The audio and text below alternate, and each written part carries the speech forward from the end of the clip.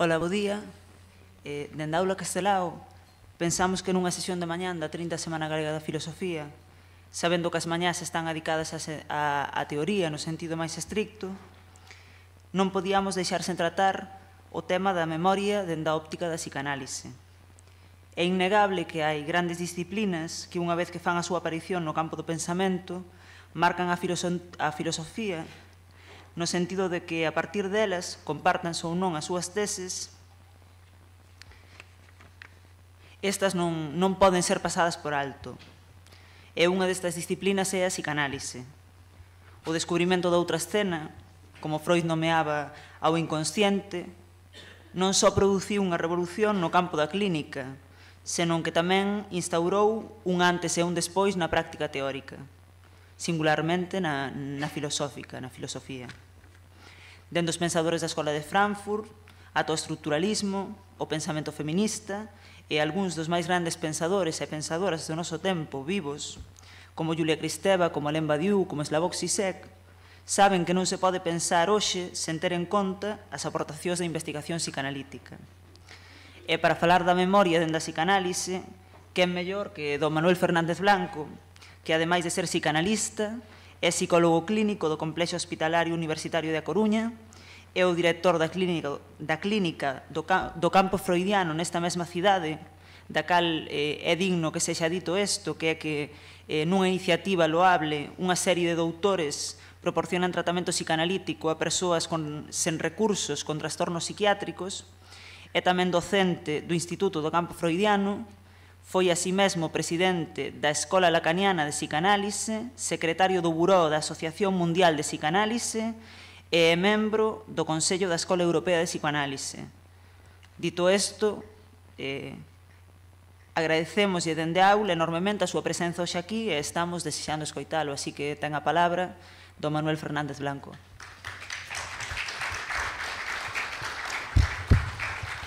Moitas grazas. Eh Grazas a, a Montserrat, gracias a, aos organizadores da 30 Semana Galega de Filosofía, que eh, 30 edicións é algo a, a ter moi en conta.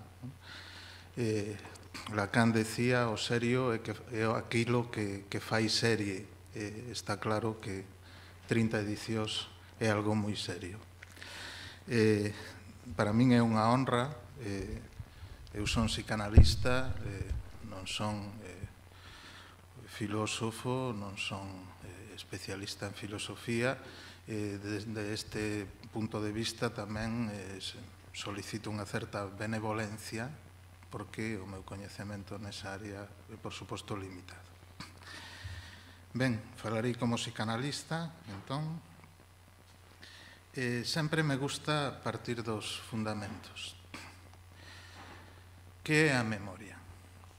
Eh, para a psicoloxía oficial e eh, académica, a memoria é unha función cerebral e mental estudada pola psicoloxía cognitiva e as neurociencias. Si estudamos a memoria dende esta perspectiva, o recurso habitual é a experimentación con animales especialmente con ratas. Este é o modelo, é dicir, unha traslación da, do animal a, ao ser humano. E dende 1950, o outro modelo é o do procesamento da información. De aí a analoxía coa computación informática. É dicir, que dende esta perspectiva, a memoria humana se estuda por comparación co funcionamento animal e cibernético é dicir, ou ratas ou robós. Este plantexamento borra as diferencias entre o ser humano como ser de linguaxe e o mundo animal e conduce a unha perspectiva mecanicista e organicista. Dende esta perspectiva, o esquecemento, as fallas da memoria, nos abocarían a unha clínica do déficit. Cal é a revolución freudiana no tema da memoria? Freud vaise desmarcar por completo da teoría do déficit. Repara que o suxeito pode recordar sucesos triviales e olvidarse de cousas fundamentales. Olvidarse, por exemplo, dos seus soños inmediatamente despois de telos soñados. Isto é unha experiencia común en todos nós. Acabamos de soñar algo moi vividamente e aos 10 minutos non conseguimos recordalo. E, sin embargo, con un certo esforzo de memoria, podemos recordar o que ceamos hai tres días, sen que sexa a cea do ano. Polo tanto, non pode tratarse dun problema de engrama psíquico. Freud di que o esquecemento non é un proceso de ausencia de rexistro desde o punto de vista cognitivo, non é un fallo cognitivo. O esquecemento non é un disfuncionamento, é un funcionamento. Un proceso activo. Que sexa activo non quer decir que sexa consciente, que sexa voluntario, pero é un proceso activo que ten por nome represión. Freud, no seu proxecto dunha psicología para neurólogos de 1895, escribe Calqueira teoría psicolóxica atendible ten que brindar unha explicación da memoria. Na psicología, decía, a memoria é unha función de adaptación tanto no ser humano como na rata experimental. O problema da memoria inconscente é que a súa función é desadaptativa. É unha desadaptación activa. Por que?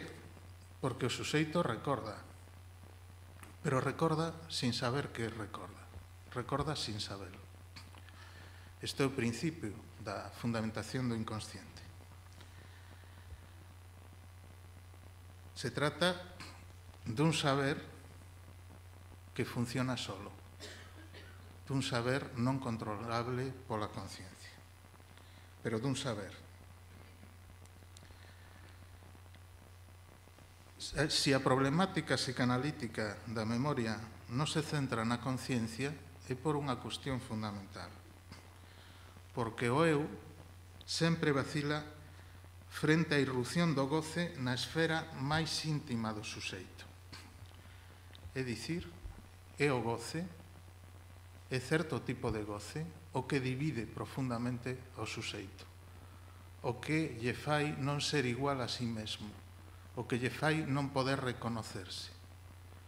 Como eu, sendo quen son, pensando como penso, podo sentir ou eh, excitarme, por exemplo, con determinado tipo de acto ou fantasía. É no goce é na experiencia do goce, donde o suxeito non pode reconocerse igual a sí mesmo. Por eso, Lacan define a súa teoría como unha antifilosofía. Hai que dicir, e nesto coincido con Badiou, que esta antifilosofía permitiu revivir moito a filosofía na actualidade.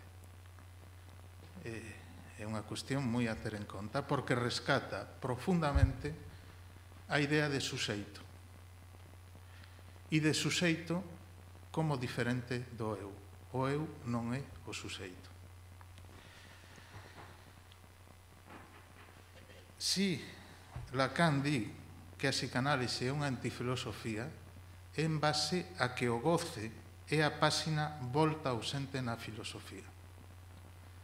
O goce é a gran ausente da reflexión filosófica que sempre aspira á racionalidade.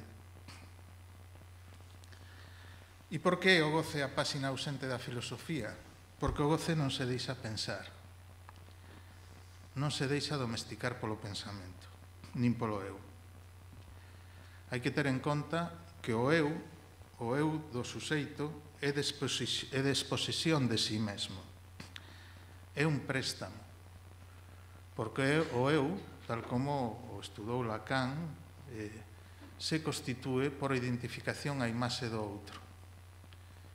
Por eso, o eu é sempre a mitade de min mesmo e ao mesmo tempo que alguén mo dá, me desposee de min mesmo.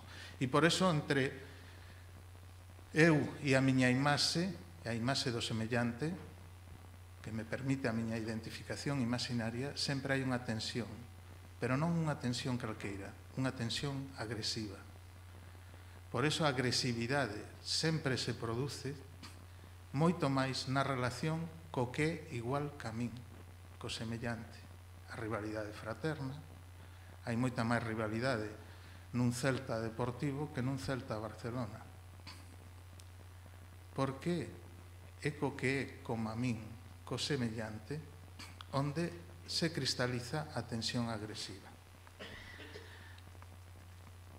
Quedaría aquí por fora a tensión co a tensión racista que esa sí afecta o racismo ten unha base única que é intolerable do goce do outro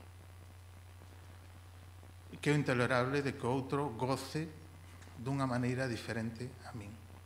Pero, curiosamente, ese goce que non podo admitir no outro é o máis íntimo de min mesmo. Por iso, se a ben para entender o racismo o concepto lacaniano de estimidade. O máis íntimo de min mesmo que ven do exterior e que non podo recoñecer como tal e que suscita o odio visceral, visceral porque se sinte no corpo porque toca o corpo. Entonces, se o eu é un préstamo, o eu é paisón de ignorancia. Un nunca é igual a un mesmo. O eu toma a súa matriz, a súa matriz imaginaria do ideal do eu. O ideal do eu son os propios ideales interiorizados que me farían ser ou sentirme amable frente á imaxen que dou. É dicir, o eu ideal é o que me faría amable aos ollos do ideal do eu. Por lo tanto, é certo que o eu é unha función imaginaria, pero ten tamén unha determinación simbólica. Si creemos, si pensamos con Lacan que é o goce a páxina volta ausente na, da filosofía, temos que renunciar á ilusión de control racional. O goce é, é algo ao que ninguén pode renunciar. O goce é sempre un sí. A un prazer pódese renunciar. A un prazer pódese renunciar si seguilo implica un disprazer maior. Pero a un goce non se pode renunciar. Por eso non hai virtude posible cando se trata dun goce. Por eso non podemos ser aristotélicos. Non basta coñecer o ben para seguilo. O goce non pode renunciarse aínda a risco de morrer. É unha exigencia pulsional absoluta Eh, recordemos cando eh, Kant eh, é un exemplo que, que toma Lacan no seminario 7 sobre a ética da psicanálise plantexa que calqueira que por pasar a noite con unha muller proibida eh, eh, soubera que a consecuencia sería a morte non o faría nunca. Lacan di, eso non é certo sí que o fará e morrerá. Por suposto, se dará disculpas de que probablemente poida librar, etc. Pero o goce é unha exigencia que se realiza a risco de morte. E isto sitúa o goce nunha dinámica contraria ao deseso. O deseso realmente é algo que é difícil decirlle sí estamos traicionando continuamente o noso desexo. E, por eso aparece a culpa. A definición da culpabilidade para a psicanálise é moi simple. Hai unha fórmula de Lacan que di do único que nos podemos sentir culpables é de traicionar o noso desexo. Digo desexo, non digo apetencia, non digo eh, non estou falando de o meu desexo é beber catro botellas de coñá, eso non é un desexo. Eh, pero si sí hai eh, continuamente dificultades co desexo. Baixo as modalidades obsesiva, histérica, fóbica. Por eso, obsesivo fai imposible o seu desexo dubidando continuamente. A duda obsesiva e para non decidir. Sempre coloca dúas opcións para non decidirse con ning por ningunha e desa maneira manter o desexo baixo a forma da imposibilidade. Dende o punto de vista histérico, o desexo se confunde coa insatisfacción. Nunca hai nada suficientemente satisfactorio e o fóbico se prevén, evita confrontarse ao desexo. Pero, se o desexo admite ou non, a pulsión é un sí, un sí irreductible. Por eso a pulsión permanece como algo inasequible a calqueira intento de construtivo. A pulsión, o goce, non é deconstruible e supón un freo ao relativismo dos discursos contemporáneos post-heideggerianos. Se un introduce a dimensión da pulsión, é imposible pensar a deconstrucción. Se tivéramos que situar unha oposición en Freud respecto da memoria, sería o concepto de repetición. Recordemos o seu texto de 1914, recordo, repetición e elaboración. A tese freudiana é simple. A obsesión repetidora, di Freud, sustitúe o impulso a recordar quedará sustituído o recordo pola repetición. Pola acción, repetición. En definitiva, o que non se pode recordar se repite, se actúa, se presenta. Di Freud, non, non recorda nada do esquecido ou reprimido, senón que o vive de novo non o reproduce como recordo, senón como acto. Repíteo sen saber, naturalmente, que o repite. É dicir, o que non podemos dicir, o que non podemos recordar, o repetimos, o repetimos continuamente. Por eso a repetición é unha cuestión absolutamente central na experiencia humana estamos repetindo continuamente. Eh, o noso discurso é un monólogo. E a realidade común a que temos acceso é a realidade encadrada no noso fantasma, que é unha interpretación fixa da realidade e un modo de gozar fixo de realidade. Isto é así porque o fantasma é o tratamento do trauma e non hai suxeito sen trauma. Non hai que pensar, normalmente cando pensamos no trauma, pensamos nunha fracción, nun acontecemento eh, eh, baixo a maneira do, do trauma eh, do que se fala habitualmente, unha violación, un abuso, eh, presenciar un asesinato, Ese, eh, logo matizaremos, porque eh, un acontecimento traumático non é traumático por ser grave, é grave por ser traumático. Logo explicarei a que responde esta dialéctica.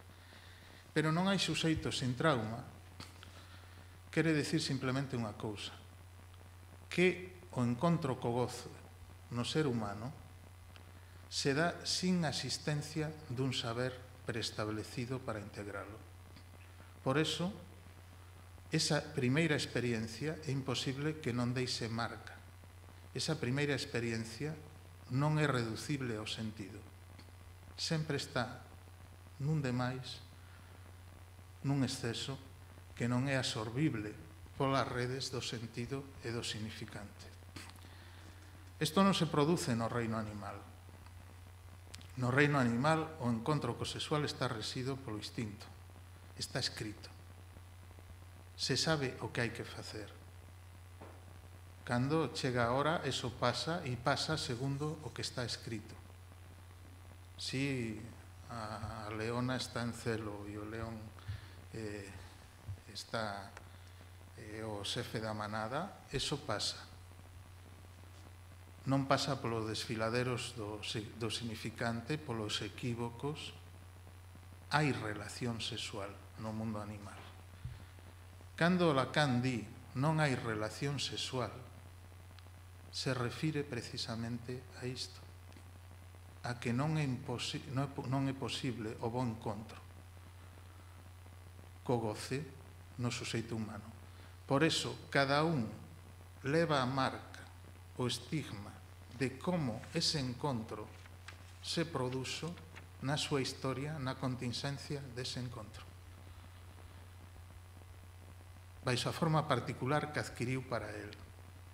O modo de tratar eso inasimilable é encadralo nunha escena que é o fantasma, que unha interpretación, unha frase, o fantasma participa dos tres registros lacanianos. É unha imaxe, Por iso pode funcionar como fantasía sexual masturbatoria. Hai que decir que o fantasma sempre ten unha estrutura perversa. É a perversión común de cada un de nós. Por iso algunha xente se horroriza polas súas fantasías masturbatorias, porque entran en contradición aberta cos seus ideales. Pero, se non recurra a iso, o corpo non responde. É unha imaxe, pero é unha frase unha interpretación fixa da realidade. É unha interpretación preestablecida.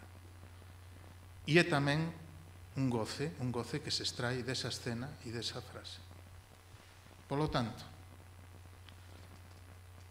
frente ao indecible do trauma, o suxeito responde co seu fantasma, que vai ser a matriz da súa repetición inconsciente. E todas as eleccións posteriores, van a darse baixo a marca da repetición. Por iso, por exemplo, todos somos monógamos. Eu diría incluso os que menos o son son os que máis o son. Somos monógamos do rasgo, da condición de amor e de goce baixo a que lesimos sempre a parella. Por eso, sempre estamos co mesmo, ca mesma. Por eso, o ser humano e profundamente monógamo do seu rasgo de goce. A repetición ten entonces a súa orixe nun acontecemento non asimilable. A repetición é o intento sempre fallido de capturar algo que escapa a ser capturado. Por eso a repetición é o fracaso do mesmo intento. Por eso repite. Por eso a repetición ten que ver co non realizado, co que non acaba de realizarse, de capturarse. Pensemos nos soños traumáticos. Cando alguén eh, ten un acontecemento traumático, un dos síntomas habituales do chamado estrés postraumático suelen ser os soños en que se revive unha e outra vez o episodio traumático. Soños de angustia. Por que se soña con iso? Porque o soño é un intento de capturar no traballo do soño, a través do traballo significante do soño, o que escapa ao dominio do suxeito. Como se traballo é permanentemente fallido, como non acaba de realizarse, se repite. Isto sirve igualmente para o feito de revivir unha e outra vez os mesmos episodios despertos do, do trauma, etc. É un intento de capturar un real que se escabulle, que non se deixa capturar.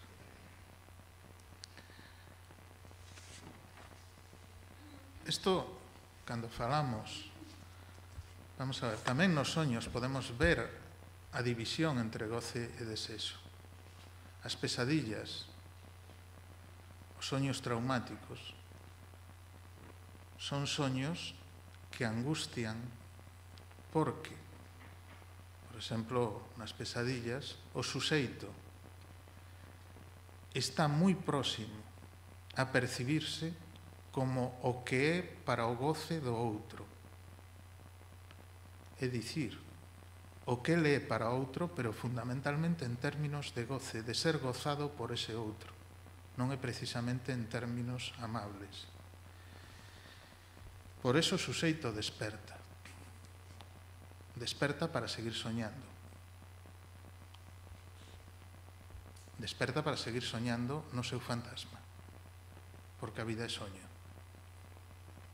E o fantasma o protese do real, dese encontro inasimilable. O despertar cumpre esa función, na pesadilla. Temos os soños, chamados normales, que Freud definiu como realización de desesos. E surde, surde sempre unha primeira obsesión, como é que o soño é unha relación de desexo Si sempre cando vai pasar o millor aparecen atrancos, desvíos, obstáculos. Esta é a experiencia de todos nós como soñantes. Cando o placer que o soño vincula vaise realizar, algo interrumpe, desvía, non acaba de culminar. Entonces, non debe ser certo de que o soño é unha realización de desexo. Sí, é a realización do desexo no seu sentido máis puro, desexo de desexar. E o desexo se opón a súa realización. Precisamente o obstáculo permite que o desexo se manteña. O puro desexo de desexar que se opón como tal a súa realización. Entonces vemos como a dinámica do desexo e do goce tamén está presente nos soños, baixo as modalidades soños, pesadillas. Tentarei eh, articular a continuación a relación entre trauma, fantasma, síntoma e repetición.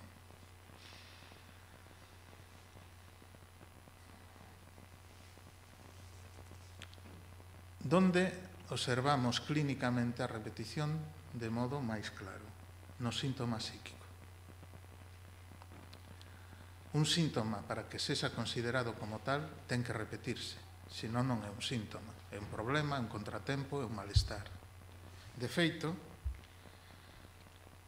a diferencia entre o síntoma e outras formacións do inconsciente é precisamente a dimensión temporal.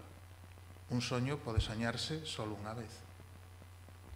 Si é unha pesadilla e se repite, entonces pode ser un síntoma. Si repetir, si soñamos todas as noites co mesmo soño de angustia. Pero un soño pode soñarse unha vez, un acto fallido pode pasar unha vez, un lasus un non o comete continuamente. É dicir, a diferencia entre o síntoma e o resto das formacións do inconsciente é precisamente a dimensión temporal que o síntoma perdura, repite, insiste. Polo tanto, o síntoma, o síntoma neurótico estou falando, non estou falando dos delirios psicóticos, estou falando do síntoma neurótico, é inseparable do concepto de repetición. Pero non hai suxeito sin síntoma. Ninguén deixa de ter un síntoma. O que pasa é que algúns confunden o seu síntoma como a vida mesma. Toda a súa vida é un síntoma, sen saberlo. Tampouco teñen que ir a ver ao psicoanalistas se non lles fai problema. Pero hai que rescatar esta idea de que o síntoma é unha suplencia. É algo que ven ao lugar da non relación sexual polo tanto non hai suxeitos sen síntoma, porque cada un ten que inventar a súa forma particular de estar e de gozar no mundo. Pero cando o síntoma adquire unha dimensión clínica, cando o síntoma é algo que non podo evitar facer aínda que o intente. Cando o síntoma ten ese carácter de que quixera evitalo, pero non podo evitalo. Pensemos nun síntoma obsesivo compulsivo eh, o suxeito, ao suxeito pode parecerlle absurdo, pode parecer que, que, que ter que facer ese ritual compulsivo eh, aberrante, que é absurdo, que non ten sentido, pero ao mesmo tempo non pode evitar facelo. Ou un síntoma máis claro, unha adicción, unha ludopatía. O suxeito di, non debo xogar, estou arruinando a miña vida, a miña familia, está camiñando cara ao casino. É dicir, o síntoma participa de ese non podo impedilo. Digamos, en termos freudianos da segunda tópica, eh, ello puede más que yo. Entonces, o síntoma implica repetición e se desencadena sempre por un acontecemento non asimilable polo fantasma. Se o fantasma pode metaforizar, metabolizar a realidade, non hai síntoma. Pero a todos nos pode ocurrir que algún acontecemento da nosa vida e do real desbarate a nosa concepción do mundo ou aquilo no que sostiñamos a nosa existencia hasta ese momento. Pode ser unha cousa ben simple, a infidelidade da parella en alguén que nunca imaginábamos que pudera facernos iso. Non entraba no noso proxecto vital, existencial, da nosa vida fantasma, pensar que eso pudera ocurrir. Eso é o real, o real é sempre traumático. Por eso o suxeito humano se defende do real. Por eso o suxeito humano funciona na debilidade mental. Porque un bo pensamento é aquilo destinado a evitar o real. O pensamento sirve para esta función. Para creer según o principio de prazer realidade orientado polo noso fantasma, aquilo que nos permite dormir soñando ou vivir soñando. Por eso un bo pensamento sempre defensa frente ao real. Por eso non se pode pensar unha filosofía próxima ao real que exclúa a categoría do trauma e do gozo. Porque o real sempre é fracción. Sempre se presenta por como baixo o acontecemento que non podía acontecer e aconteceu. O real é o que non podía pasar. E pasou. Pode ser unha gran efracción, pode ser unha cousa relativamente común, pero inasimilable para quen a sufre. Esta efracción é o que produce o síntoma. O que propón, o que produce a ruptura da seguridade fantasmática, da memoria cristalizada do suxeito.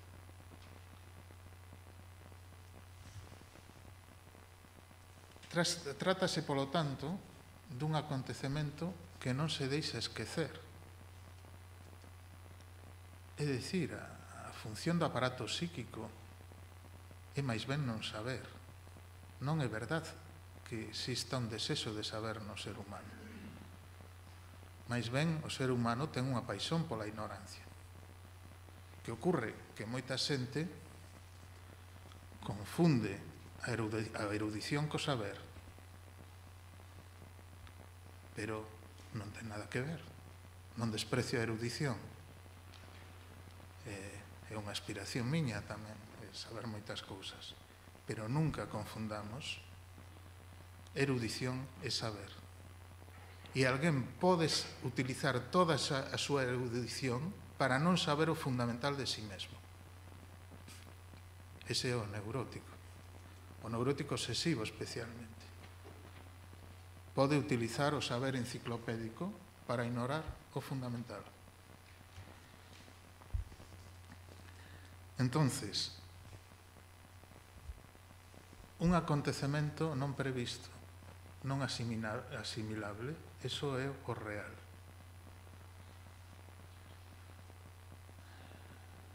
Hegel dicía que a palabra é a morte da, da cousa. As palabras as utilizamos para intentar domesticar o real. O problema é cando un real non se deixa domesticar. Polo principio do placer realidade. Non se deixa esquecer. Non se deixa dominar polo fantasma. De feito, o trauma, os traumas se caracterizan por non poder olvidalos. Pola súa insistencia, por non poder quitalos da cabeza. Recordo recorrentes e intrusos, imaxes das ceas, retorno angustioso do vivido, soños de angustia.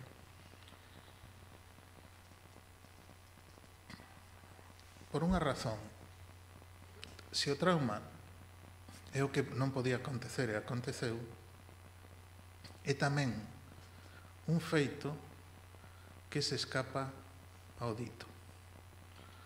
Todos os feitos son ditos. Todos os feitos son feitos de palabra.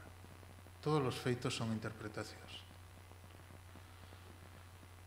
Eh, creo que era Nis eh, quen dicía isto, non? Non existen feitos, son interpretacións. Eu non o digo no sentido de Nis. Eu o digo no sentido de Freud, que non é o mesmo. Por que? porque si a palabra pode alcanzar o rexistro da verdade, das determinacións simbólicas do suxeito. Pero non é suficiente para alcanzar o real do gozo. Entonces, todos os feitos son interpretacións, todos os feitos son feitos de palabra, excepto un, o trauma. O trauma É un feito sin dito, faltan as palabras para dicilo, para poder eh, metabolizarlo. Por iso, o trauma non pode ser esquecido. Precisamente por isto, porque se resiste ao registro da palabra e a represión actúa no registro da palabra.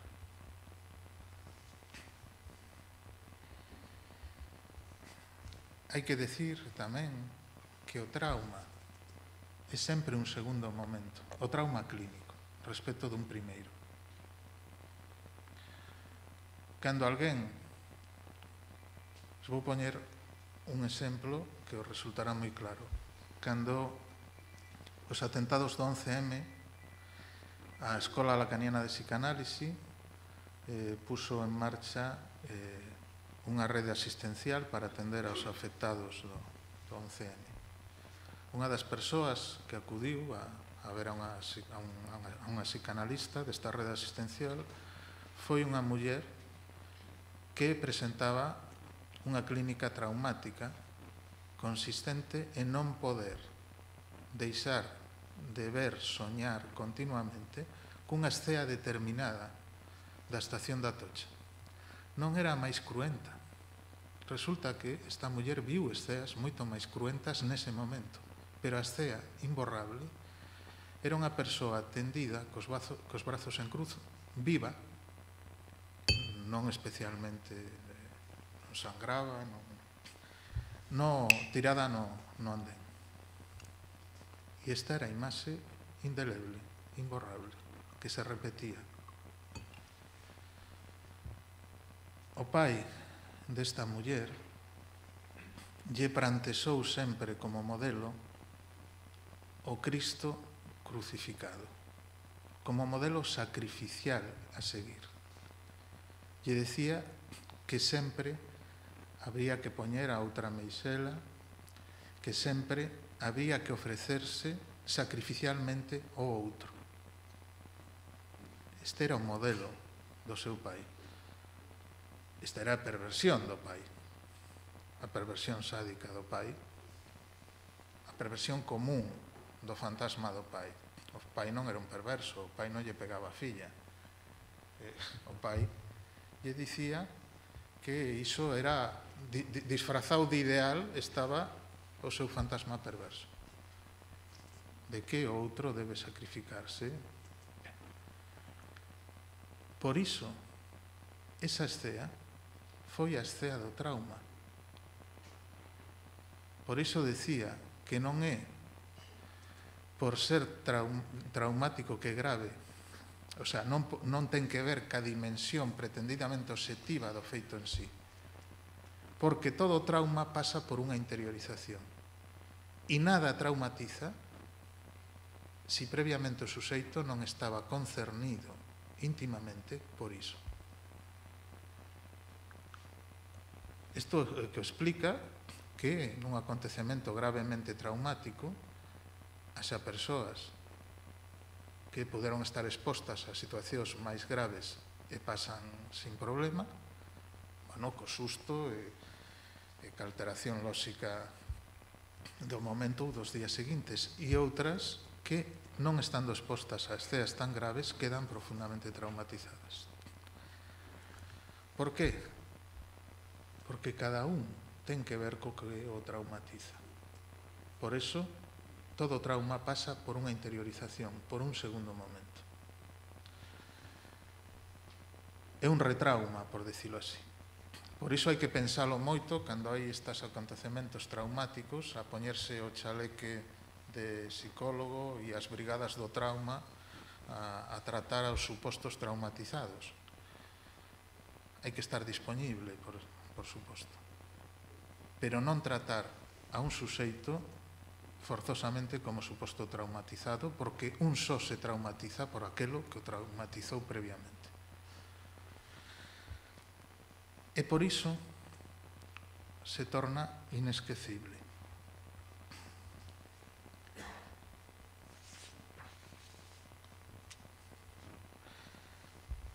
A represión ten tres momentos.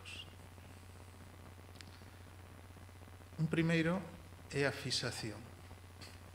É o momento de ese encontro imborrable co gozo. Pero ese momento non é o momento do olvido, non é o momento da represión. É o momento en que eso queda marcado. Moitas veces descubrimos abusos sexuais en en nenos, en nenas, porque os nenos demandan que lles fagan iso a outro adulto diferente ao pederasta. E o demandan como un sobo. É dicir, hai un primeiro momento en que poderíamos decir se si non hai daño, se si non hai forzamento, dor física, o neno pode vivilo como unha experiencia pracenteira e por iso reclamala a outros. Esta é unha eh, moitas veces na clínica descubrimos os abusos por isto. De repente o neno lle pide ao tío o domingo que lle faga aquilo que non sei que e a xente lle empeza a preguntar, pero eso cando eh, que, que enxonxinou que e, ben. Por que? Porque a primeiro é a fixación sen represión. En un segundo momento cando eso é resignificado, cando adquire un, unha significación que o neno non tiña ao seu alcance no primeiro momento, que debe reprimilo. E logo, o terceiro momento é o retorno do reprimido como síntoma. Por iso, os tres momentos da represión son a fixación, a represión e o retorno do reprimido como síntoma. Como síntoma a repetición. Polo tanto, o síntoma é o memorial e o olvido ao mesmo tempo do acontecimento.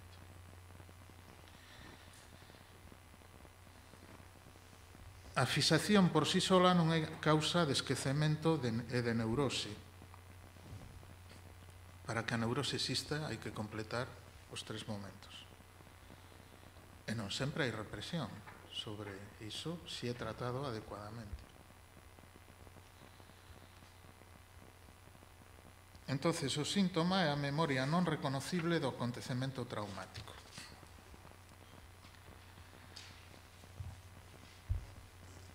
Si tivéramos claro todo isto, certas discusións,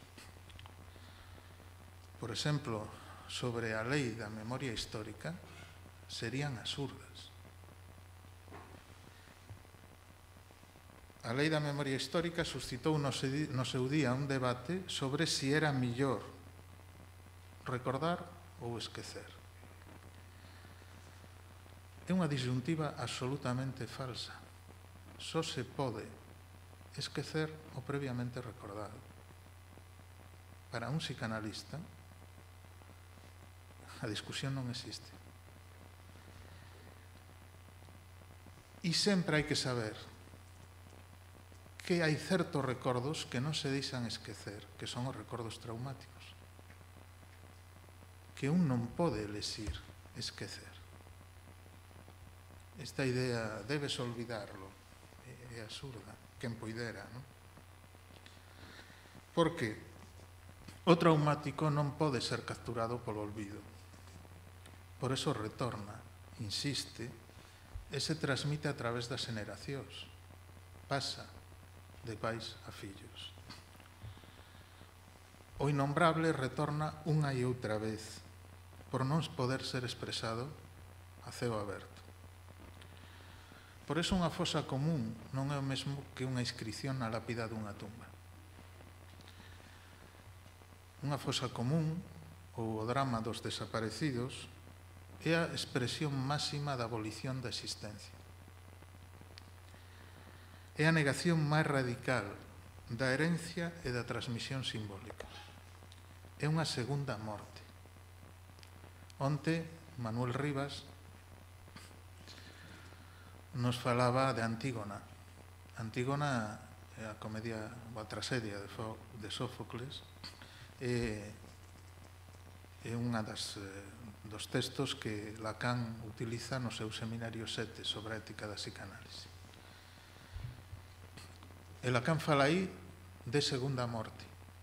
Manuel onte eh, nos falaba tamén disto. A segunda morte é precisamente a negación da inscripción simbólica. No, no, a tragedia de Antígona, Creonte lle impide dar terra ao cadáver do, do seu irmán. Esa segunda morte borra os rastros do suxeito da fada terra. Cando alguén está baixo esa situación, ese trauma, se transmite nas generacións E isto explica tamén que se poidan padecer traumas colectivos. Porque, como xa Freud dixo en Psicología das Masas e Análise do Eu, o funcionamento colectivo siga a mesma lógica que o funcionamento individual. A psicología das masas é idéntica a do eu. Que quere dicir isto?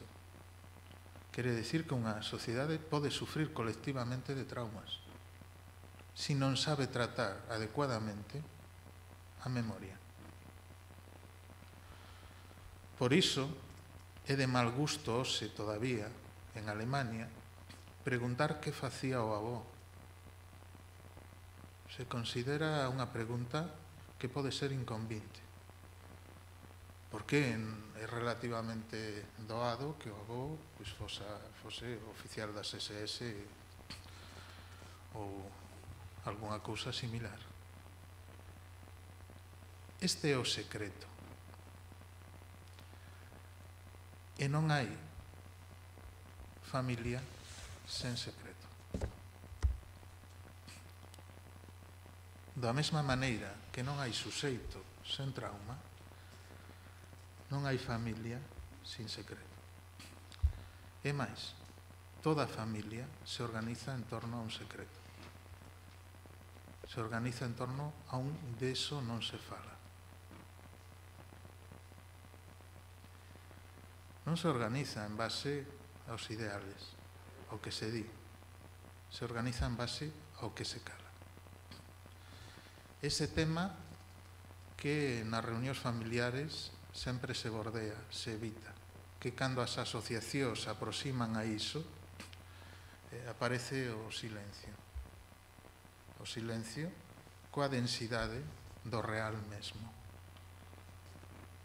Ben, o que non se di é o que se transmite, moito máis que o que se di. Por eso non hai transmisión máis eficaz que a do trauma e afecta as generacións. Isto establece o que Lacan situou no principio da súa ensinanza como eh, clave fundamental da repetición. Eh, a débeda simbólica. É dicir, os pecados do Pai se herdan. O non dito, e por suposto que non se di é sempre un pecado, non, non no sentido religioso, estou falando, e os pecados son sempre de goce. O non saber tratar adecuadamente as faltas, os pecados de goce, fan que iso se transmita como síntoma nas generacións. O síntoma dos nenos é a realidade non dita do discurso familiar, por exemplo. Recordo agora o caso dun neno que tratei no seu día, un neno exemplar, notas exemplares, conduta exemplar, que empezou a roubar.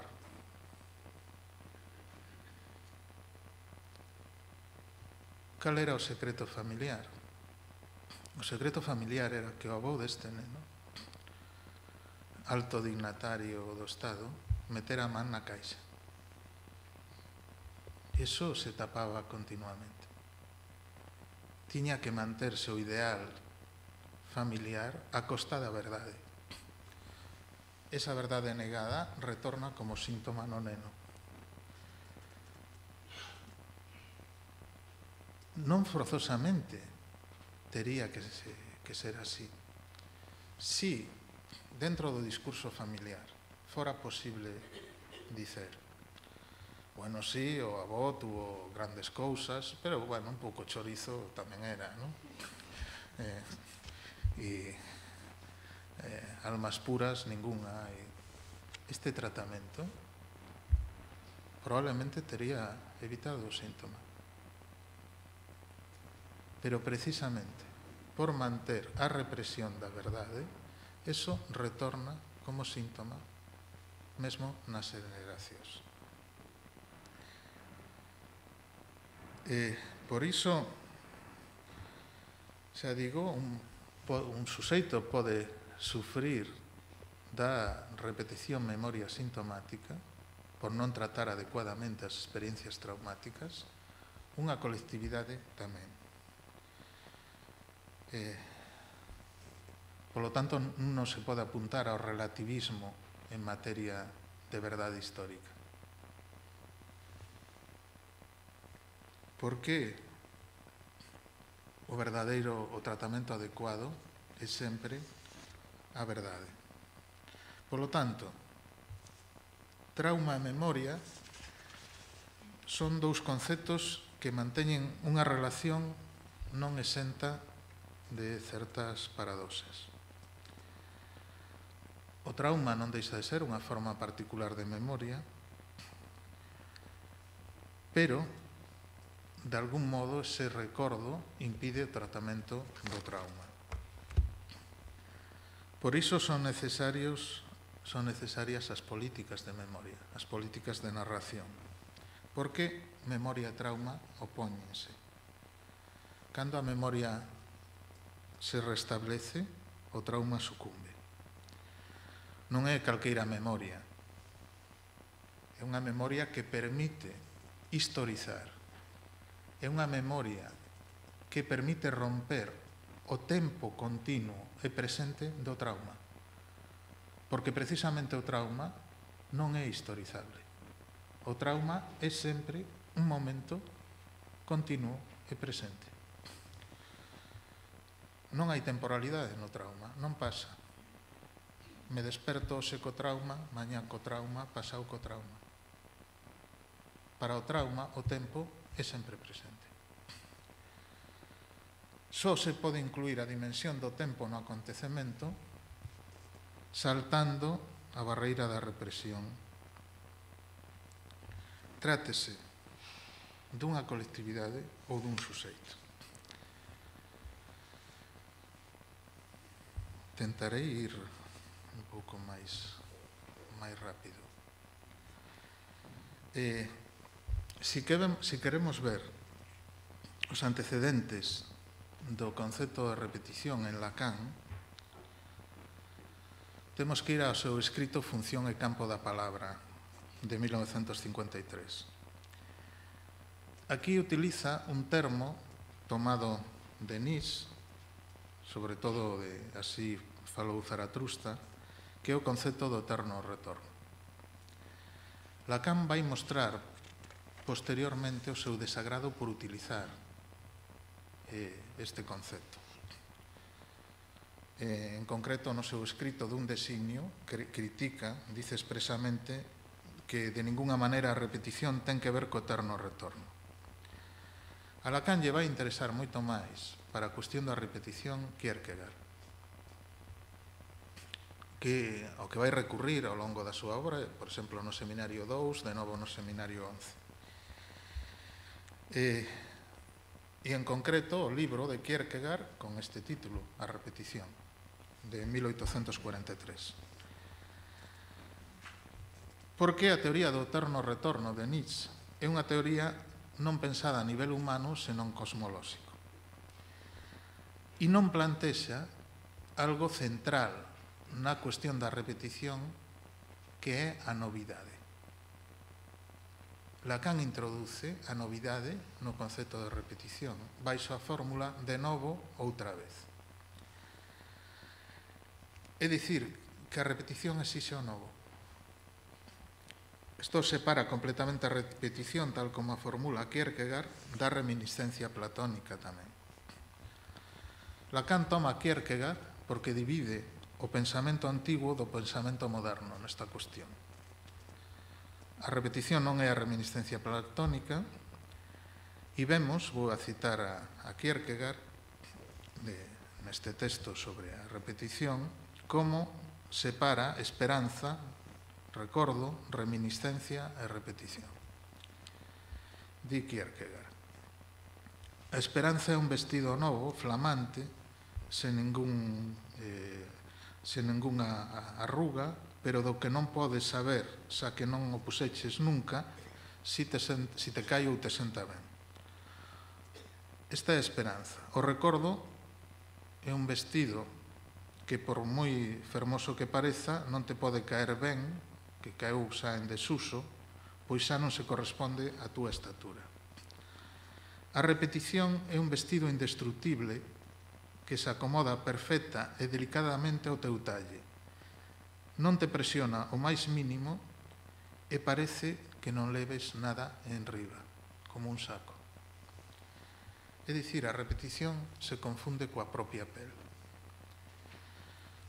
Outra cita de Kierkegaard do mesmo texto, a repetición é unha esposa amada da que nunca chegas a sentir hastío porque só se cansa un do novo.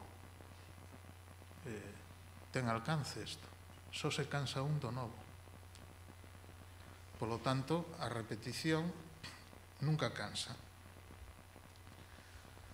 Isto é de extrema actualidade, porque, eh, digamos, eh, o suxeito hipermoderno, sobre todo, consume novidade, e a novidade a que é permanentemente caduca.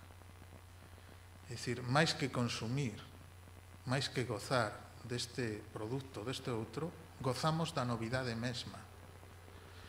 Cando compramos un móvil, xa é bello, porque xa hai cartéis na, na tenda que anuncian que vai vir o, o Galaxy 34, bueno, no, 7 ou 6, ou son menos que as semanas galegas de filosofía de momento, pero é, eh, é dicir que co que salimos sae bello. Sae caduco no momento en que o mercamos. Polo tanto, o seto de consumo é a novidade misma. Unha novidade que hastía porque só se cansa un do novo, como postula Kierkegaard.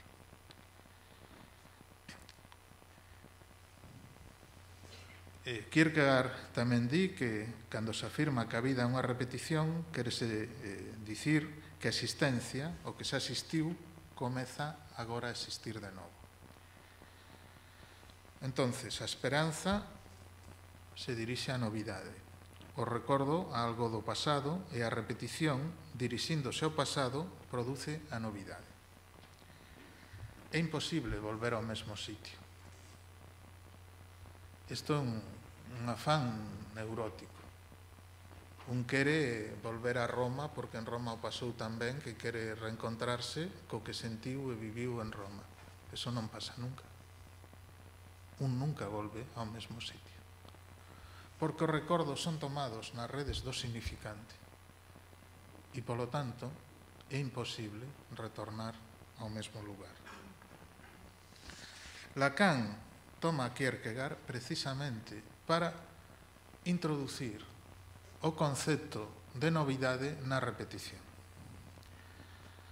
Polo tanto, non hai que pensar a repetición como recuperación do, do que xa se viviu, porque o vivido está perdido. É dicir, a repetición exixe a novidade. Eh, Lacan dedica o seu seminario 2 a estudar a, a repetición. O texto básico que emprega no seu retorno a Freud é o máis alado principio do placer. Porque máis alado principio do placer está a compulsión á repetición. Este texto marca en Freud un antes e un despois da teoría do inconsciente. É o, o xiro que dá en 1920. Previo a 1920 hai unha primeira teoría do inconsciente que é o inconsciente como lugar do desexo reprimido a liberar. Polo tanto, se trataría do inconsciente como reservorio do desexo que liberado eh, cura a neurose. Pero que, que atopa Freud na súa práctica? Que os pacientes se enteraban da verdade da súa historia, pero seguían nas mesmas bastante. E isto permite o seu xiro teórico en 1920 co máis alado principio do placer. O inconsciente non está a servicio do desexo, do placer a liberar. O inconsciente é unha máquina de repetir e de repetir o peor. Isto anuncia a unificación pulsional que máis adiante realizará Freud non distinguindo entre pulsión de vida e pulsión de morte, senón como un continuo. O principio de prazer sempre chama ao seu máis alá. E máis alá se realiza como pulsión de morte, como pulsión autodestructiva. O nome da pulsión de morte en Freud en 1920 é compulsión a repetición. Entonces, nós sempre temos o, a tendencia a ir máis alá, a ir máis alá do que fai ben, a ruptura do equilibrio, da homeostase. Hai algo no ser humano que actúa contra o seu propio ben e non basta coñecer o ben para seguilo. Isto é o descubrimento freudiano fundamental. Entonces, que implica eh, esta compulsión á repetición? Implica que a morte está infiltrada na vida. E que, isto é eh, o gran descubrimento freudiano, e que o ser humano traballa contra sí mesmo. E que na búsqueda dese plus de goce realiza autodestrucción e a pulsión de morte. Isto non, non son disquisitivas teóricas, é experiencia común. A xente bebe en exceso, come con sal cando lle diagnosticaron hipertensión, eh, faise anorésica ou bulímica, ou toxicómano, a pulsión de morte está por todos lados. Pulsión de morte, estar ca parella que nos destroza a vida e, e seguir con ela. ¿no? Eh, todos eh, funcionamos como os personaxes do Ángel Exterminador de, de Buñuel. Eh, recordades, eh, nunha habitación, aparentemente non había ningún obstáculo para sair, pero ninguén podía sair. Esa é a repetición e a pulsión de morte. Por que non deixas esa relación profundamente insatisfactoria que amarga a vida? Por que gozo? Non está do lado do principio de placer.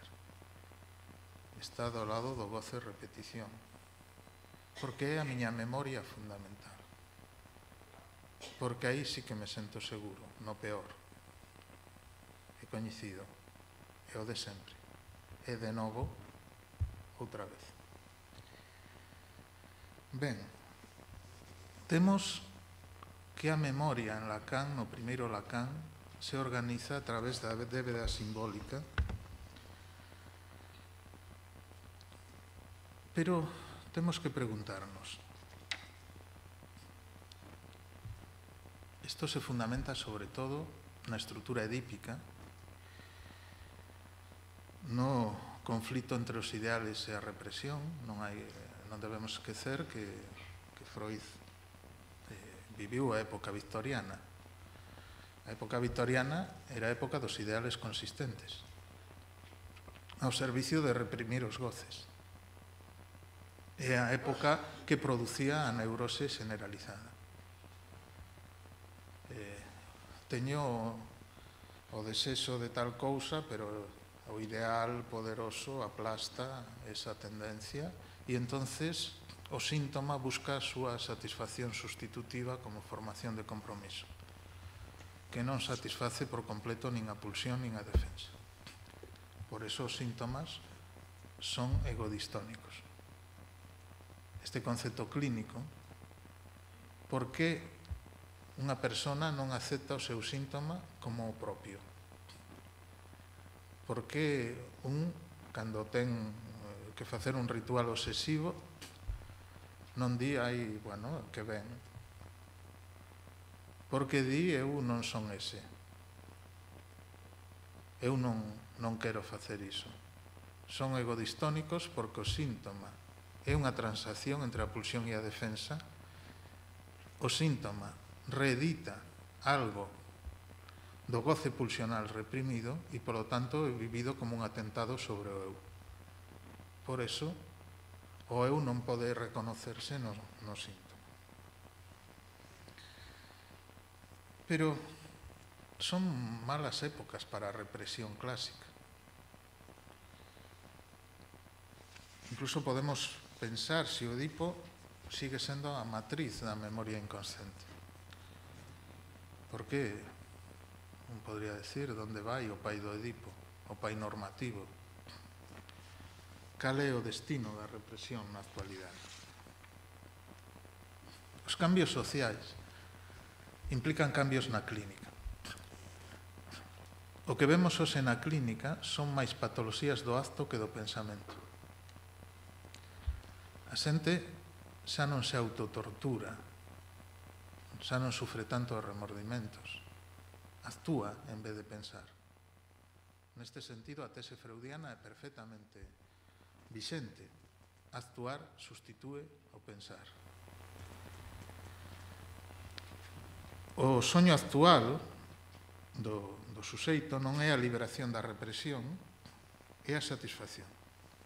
Por eso, todo deben adictivo na sociedade actual. Por eso as adicións son o paradigma da clínica actual. E por eso as adicións clásicas, ao alcohol, as drogas, ao xogo, se suman todo tipo de adicións.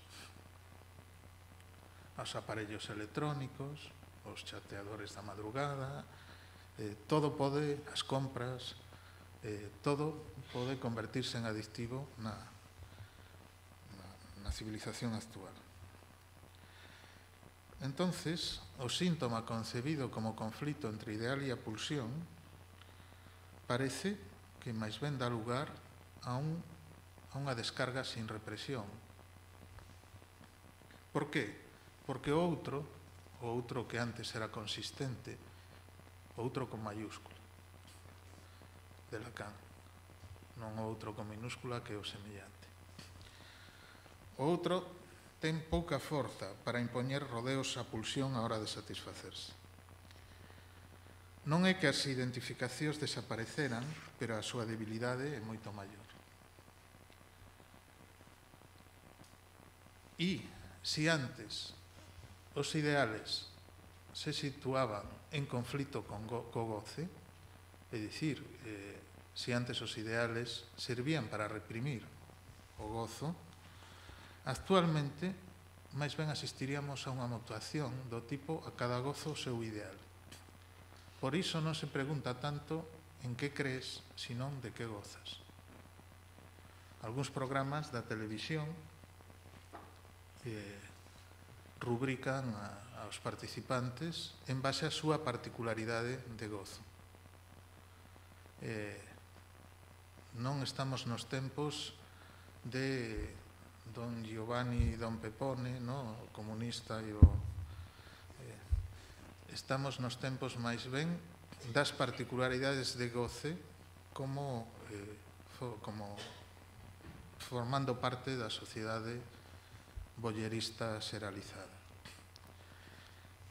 Entonces, si o que antes era motivo de exclusión, de represión, agora o retoma o suxeito para nombrarse, Si agora non é tanto, eu son eh, comunista, eu son eh, de dereitas, eu senón eu son intercambiador sexual de parellas, eu son eh, non? Si o suxeito se vincula ao goce, entonces o fenómeno de segregación é inevitable. Porque se o significante aliena, se o significante colectiviza, o goce separa. E isto é o que promove unha sociedade da segregación xeralizada o que Lacan se anunciou como campo de concentración generalizado. A sociedade actual é dos mesmos cos mesmos en base, en base ao tipo de goce. Esta cal é a clave do que ocorre co ideal, a parte da debilidade, a fragilizade, que impide que se xa utilizado na función clásica é que se pode situar na paradoxa, no paradoxo posible. Unha forma de disolución do ideal é situálo, como facía Pekka Erik Auvinen, este o asesino múltiple finlandés, non? que se definía con, como un humanista antihumano e como un ateo endeusado. Non pasa nada. Humanista antihumano, ateo endeusado, si toda identificación é posible, si se elimina a contradición non hai identificación. A pluralización elimina a identificación. Por iso, como vou a citar a Jacqueline Miller, cando afirma que en materia de híbridos non temos visto nada aínda. Os híbridos van a medrar e multiplicarse. Homosexuales autoritarios, feministas católicas, sudeos belicistas, musulmanes volterianos, racistas libertarios, nisenianos populistas, sindicalistas derridianos, orleanistas energúmenos, leninistas reaccionarios, troscocapitalistas, comunistas preciosos, izquierdistas antiizquierda, antimundialistas de seguridad, verdes rosas, verdes vermellos e de todos os colores do arco iris, usares demócrata cristianos, humanistas neocilinianos, estetas comprometidos e tutti quanti. Isto, o sea, sí, a, a, digamos, a, a identificación se diversifica, se pluraliza, e isto vai en contra de poder constituir ningún tipo de clase, ningún tipo de orden. E o, o rasgo fundamental non é do ideal frente ao goce, senón a cada goce o seu ideal. É dicir, o ideal se anula pola pluralización ilimitada. Por iso, co final do século XX, a problemática da, da represión deixou de ser central e por iso as patoloxías neuróticas deixaron o seu paso ás patoloxías do, do acto. As patoloxías da impulsividade, as eh, patoloxías do imperativo, por iso temos o simplemente faino de de Nike o, e de nada é imposible de Adidas. ¿no? Entonces, os novos síntomas non son síntomas de compromiso co outro, son síntomas de ruptura, son síntomas máis segregativos. Son síntomas que actúan a separación sen pagar o precio da alienación. Son síntomas sin memoria. non quere dicir que a memoria non exista. Quere dicir que o suxeito a cortocircuita. E se pretende presente, un suxeito presente, non determinado por nada. Construete a ti mesmo. Eh, isto supón unha minusvalía do goce frente ao ideal, e unha acomodación do ideal ao goce particular. E Lacan, no seu seminario 17, eh, formalizou os seus primeiros catro discursos. O discurso do amo, o discurso da universidade, o discurso histérico, o discurso do psicoanalista. Os catro discursos Son as catro formas posibles de lazo social para Lacan, porque non hai lazo ao marxe de, de ningún discurso. Por eso, o psicótico está fora do lazo social, e por eso o débil mental frota entre discursos. O discurso do amo era, é o discurso do inconsciente ao mesmo tempo. É o discurso que trata a división do suxeito a partir das identificacións que propón o amo. É un modo de intentar tratar a falta en ser polo significante.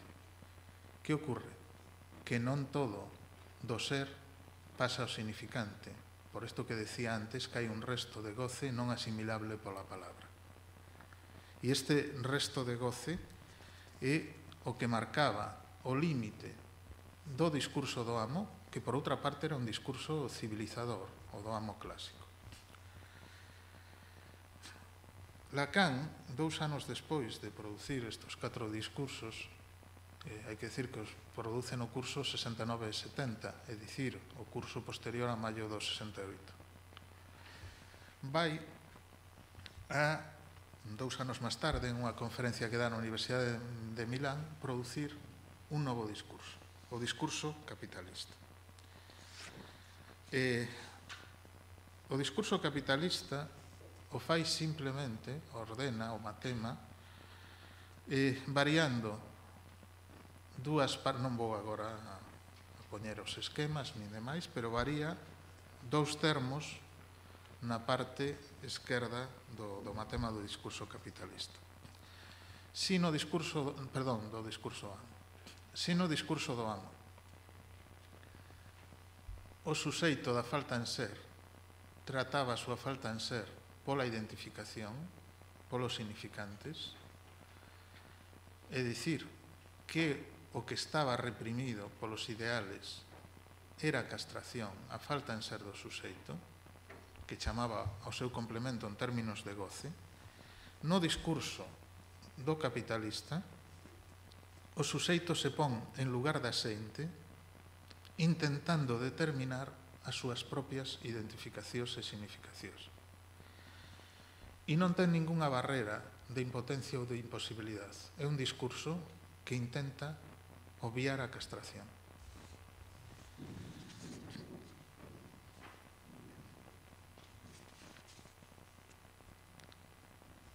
A castración e a verdade, e a verdade do discurso a verdade reprimida do discurso. É dicir, o suxeito capitalista do discurso capitalista repudia a determinación que recibía da verdade para intentar dirixila. É dicir, é o suxeito entronizado como asente, é o triunfo do narcisismo e a adoración da propia personalidade. Eu podo elexir as miñas eleccións sin limitación alguna. E non é un suxeito amarrado á súa historia, non é un suxeito dependente da memoria familiar e personal, pretende non selo, senón capaz de producirse a sí mesmo e, eh, e ademais sin límite respecto da relación co seto do goce. Porque no discurso do amo o que sostén o goce é o fantasma inconsciente. Pero, mm, polo tanto, o suxeito se relaciona co seto, pero no marco do fantasma. Mentras que no discurso capitalista está a ilusión de que o suxeito pode ter o seto nos anaqueles da sociedade global. Pode relacionarse directamente co seto de goce.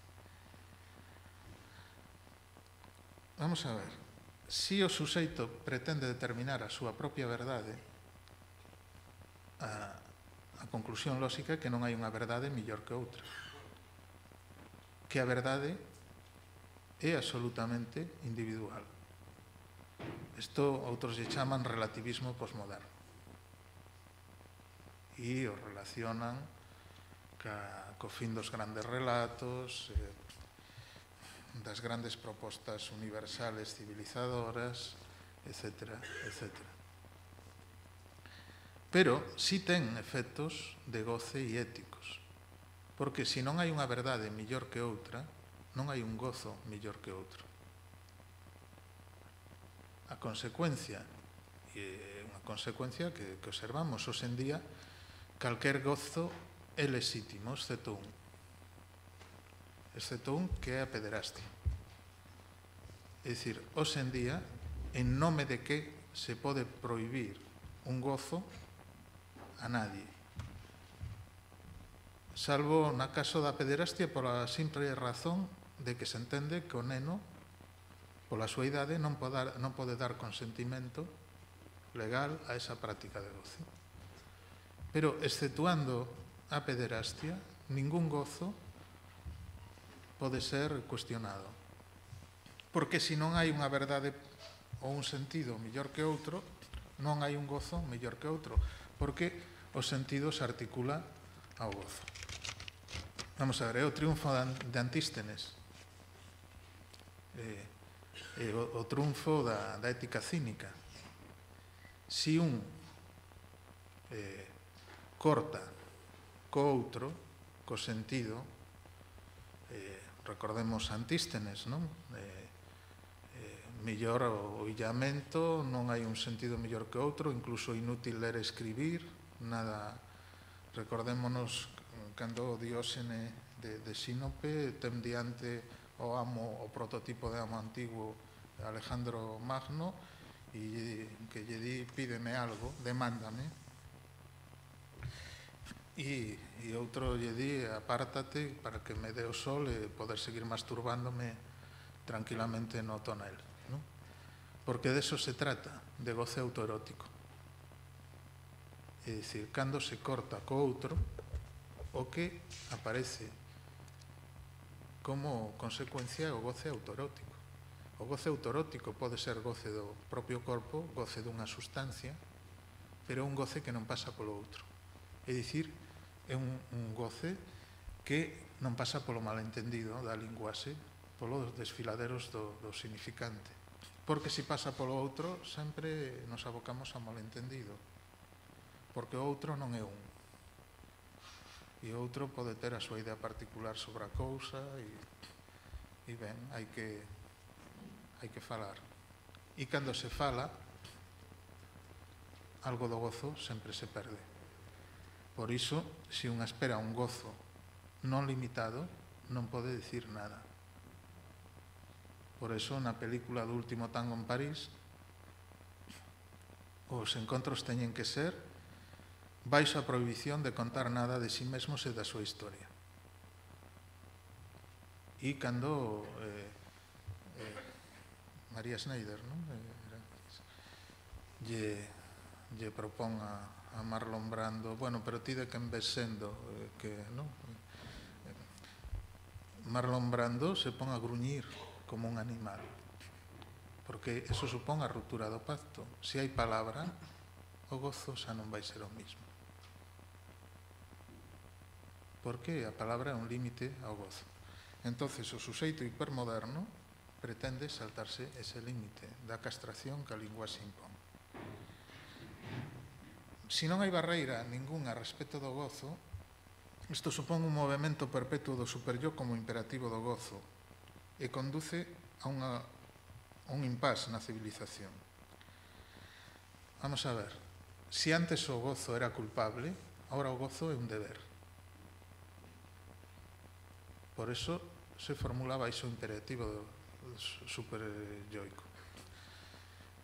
Estamos obligados a gozar, a ser empresarios da nosa propia vida e da nosa propia satisfacción. E se non logramos un gozo suficiente, somos culpables, ademais, de non gozar o suficiente, somos fracasados. Eh, entonces pasamos da culpabilidade ligada a o, o goce proibido, non ben visto, clandestino, a culpabilidade por non gozar o suficiente. Isto cambia o Estatuto da Depresión. A depresión antigua estaba máis vinculada á culpa pola transgresión. A depresión actual está vinculada a que somos culpables de non maximizar as nosas propias vidas.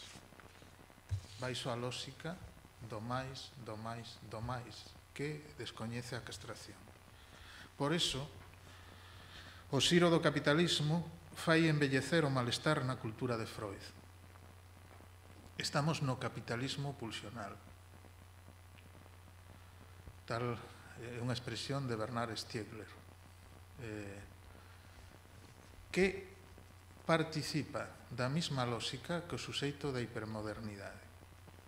É dicir, é un capitalismo que rompe o equilibrio entre conservación e produción, entre produción e conservación. É un capitalismo bulímico, desregulado. É un capitalismo sen nome propio. Non falamos da fábrica de Ford, falamos dos mercados.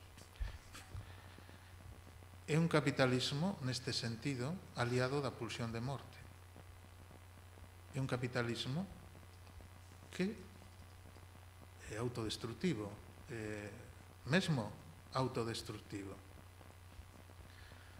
xa non só por, polo tema ecolóxico, denunciado onde hai moito tempo, se non se conserva o equilibrio entre eh, produción, conservación, o desastre pode producirse, senón tamén pola propia lógica dos fluxos hasta ahora inéditos, rápidos, eh, especulativos, desligados completamente da produción material e real. Entonces, o funcionamento do capitalismo é idéntico ao funcionamento suxeito hipermoderno. E, por iso, os síntomas do capitalismo son os síntomas do suxeito hipermoderno, a bulimia, por exemplo, a bulimia imparable. E, e o, o movimento perpetuo do supereu como imperativo de goce. Isto rompe a o discurso do amo tradicional, xa digo civilizador, e vou ir máis, máis rápido, eh? cinco minutos e remato. Eh, porque o, o capitalismo, o discurso do amo clásico, mantiña a satisfacción encuadrada no, nos límites do, do fantasma inconsciente. Pero hoxe en día se sustituiu a represión polo dar a ver. É dicir, que máis ben é o fenómeno contrario. O se o gozo non hai que ocultalo, hai que mostralo e hai que poñelo en internet e hai que a vista do mundo global. Isto supón unha alianza entre o registro imaginario e o gozo real, pero cortocircuitando a dimensión simbólica.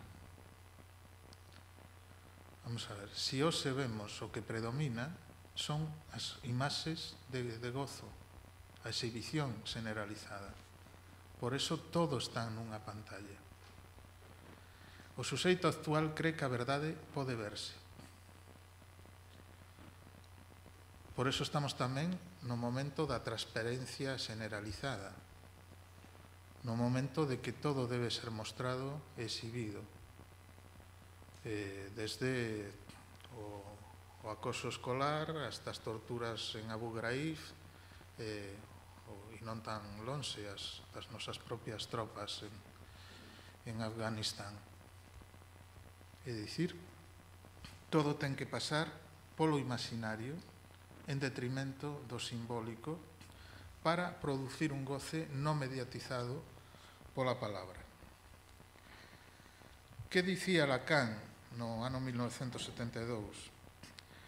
Que facer a revolución era volver ao punto de partida, que o amo donde ten máis forza e donde se fai a revolución, porque o amo introduce o un, e se hai un, eso comeza comanda ao S2 e o S2 obedece. Pero para que obedezca é necesario que sepa algo. É dicir, o amo non manda sobre quen non merece a pena. Lacan di que o discurso capitalista sustitúe ao do amo que marcha sobre rodas, que non pode marchar mellor, pero justamente marcha demasiado rápido. Se consuma, se consuma tan ben que se consume. E efectivamente, hai algo desto que Lacan avanzaba xa no 1972 que se está realizando na actualidade. É destas cosas de, de Lacan donde realmente eh, hai unha visión pues, impresionante de, sobre o futuro. Recordemos, por exemplo, cando en 1939 eh, no seu libro sobre os complexos familiares anunciou o declive da función paterna e de todas as figuras da autoridade.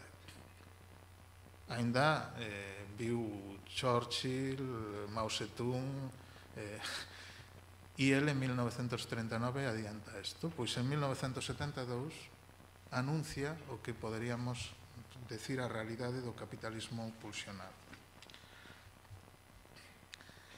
Eh,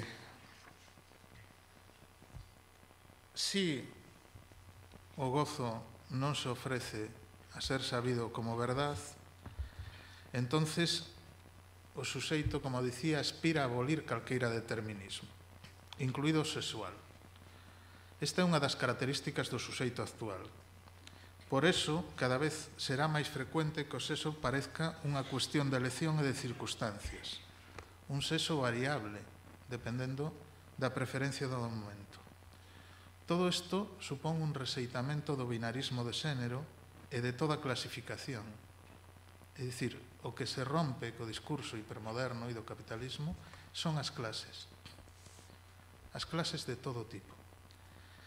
Se trata dun rexeitamento radical para a alegría do movimento queer a ser encasillado en calqueira categoría tanto sexual